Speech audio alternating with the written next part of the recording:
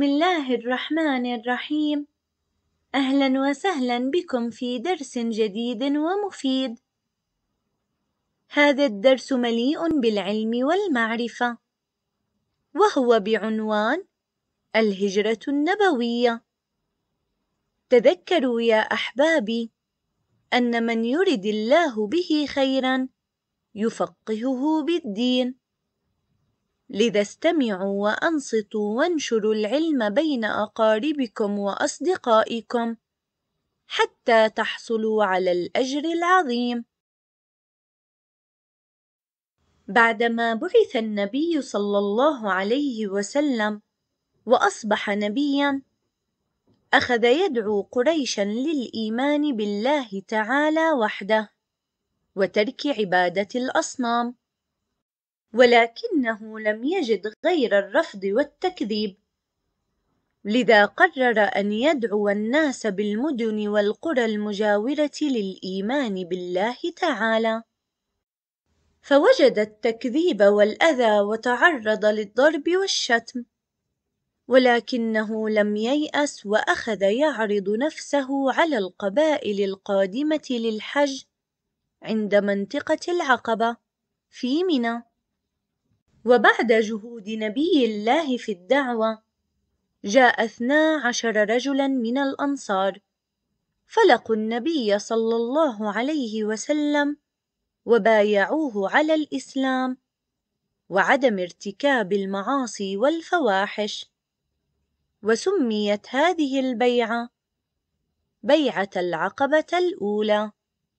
ثم بعث معهم رسول الله الصحابي الجليل مصعب بن عمير رضي الله عنه ليعلمهم أمور دينهم ولقب بأول سفير في الإسلام.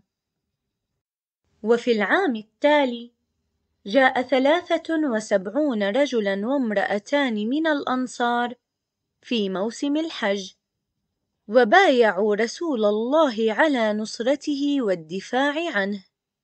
وسميت هذه البيعة بيعة العقبة الثانية. تذكروا يا أعزائي هذه المعلومة جيدا.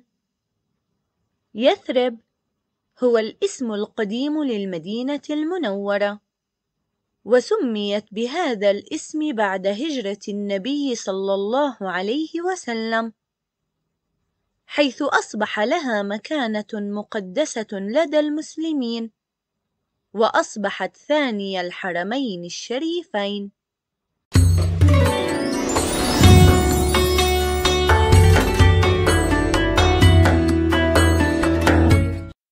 وصلنا الآن يا أعزائي لبدايات الهجرة. فبعد أن علمت قريش بأمر بيعة العقبة الثانية وأن رسول الله أخذ يبايع أهل القرى والمدن المجاورة على الإسلام والنصرة. شعرت بالغضب الشديد وزادت رغبتها في الانتقام. واشتد إيذاؤها للرسول صلى الله عليه وسلم وأصحابه. عندها أذن رسول الله لأصحابه بالهجرة إلى المدينة المنورة. فأخذوا يغادرون مكة المكرمة سرا. فرادى وجماعات. خشية أن تعلم قريش بأمرهم فتمنعهم من ذلك. تاركين وراءهم بيوتهم وأموالهم وكل ما يملكون لأجل الفرار بدينهم من بطش كفار قريش. وقد ذكر الله عز وجل الإذن بالهجرة في سورة الحج. فقد قال تعالى بسم الله الرحمن الرحيم. أذن للذين يقاتلون بأنهم ظلموا. وإن الله على نصرهم لقدير. صدق الله العظيم. بعد أن بدأ المسلمون بالهجرة، شعرت قريش بالخطر على نفسها، وخشيت لحاق النبي صلى الله عليه وسلم بأصحابه في المدينة المنورة وتكوين قوة ضدها. فقررت أن تتآمر على رسول الله صلى الله عليه وسلم. وأن تتخلص منه بأية طريقة ممكنة. قبل أن يهاجر من مكة المكرمة. وبين الله تعالى هذا الأمر في سورة الأنفال.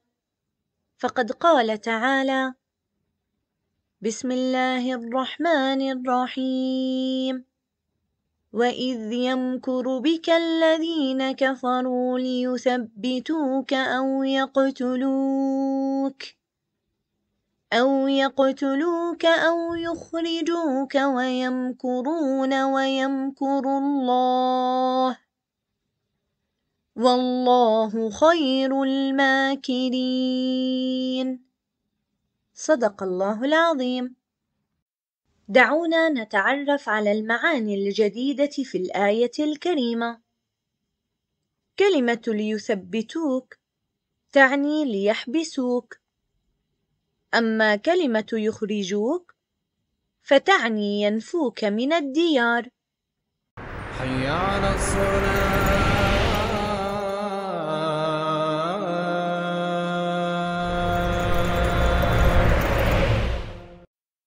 والآن وصلنا إلى مؤامرة كفار قريش على رسول الله صلى الله عليه وسلم والمسلمين. تابعوا معي شرح الدرس.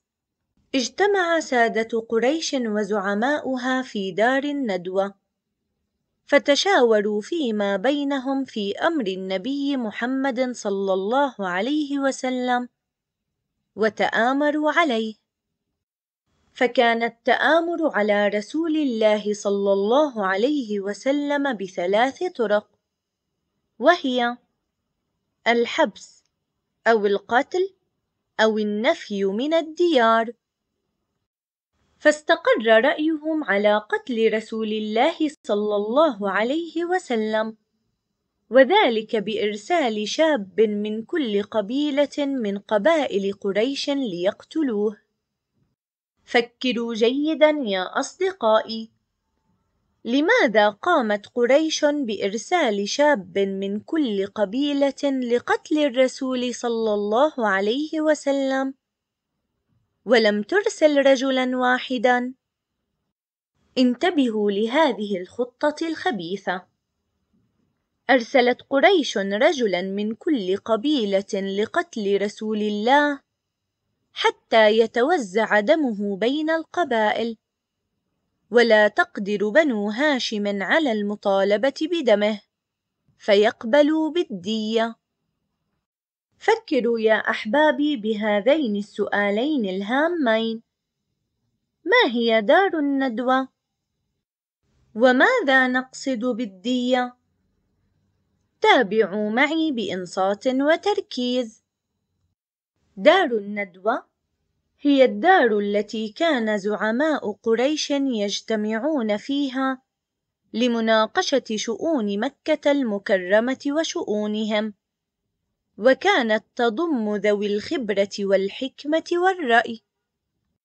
أما الدية هي مقدار من المال يدفعه أهل القاتل لأهل المقتول وصلنا الآن يا أصدقائي لنقطة مهمة وهي الاستعداد للهجرة.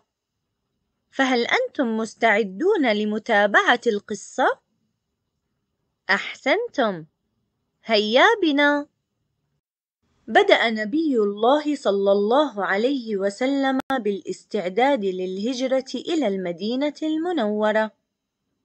وحرص ألا تشعر قريش بذلك. وأخبر أبا بكر الصديق رضي الله عنه أن الله تعالى قد أذن له بالهجرة إلى المدينة المنورة وأنه سيكون رفيقه في الهجرة. ففرح أبو بكر الصديق بذلك فرحا شديدا لمرافقته رسول الله. فهو صاحبه المخلص وأولهم إيمانا وتصديقا لرسول الله. سأهديكم هذه المعلومة يا أحبابي. لقد قام رسول الله بتسمية أبي بكر بالصديق لأنه الأكثر تصديقا له. فهو أول من أسلم من الرجال وصدق رسول الله. ثم طلب رسول الله من أبي بكر رضي الله عنه أن يجهز الناقتين اللتين أعدهما مسبقا من أجل الهجرة. واستأجر رجلا خبيرا بالطرق المؤدية إلى المدينة المنورة. يقال له عبد الله بن أريقة. فكر معي بهذا السؤال. على ما يدل استئجار رسول الله لعبد الله بن أريقة حتى يدلهم على الطريق. يدل استئجار عبد الله بن أريقة على ضرورة الأخذ بالأسباب مع التوكل على الله عز وجل.